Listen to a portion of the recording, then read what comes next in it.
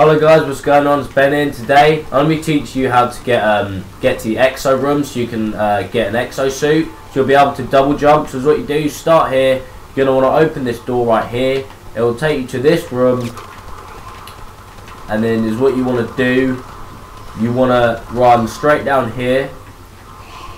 You want to open this door to holding. Then you want to look. It leads you to the exo room. You keep following it down. So guys, once you've opened that door, you're going to want to open this door here, EXO testing. You want to run up these stairs. Then you finally got to the EXO room. What you doing? You get here, guys. You need to enable the power if you want to uh, get the EXO suit. So once you've enabled the power, you can then pick up the EXO suit. As you can see, getting the EXO suit right now. I can double jump. I can do whatever the fuck I want with the EXO suit. So yeah. That's pretty simple guys, does cost you a couple of coins to get through to the exosuit room. But yeah.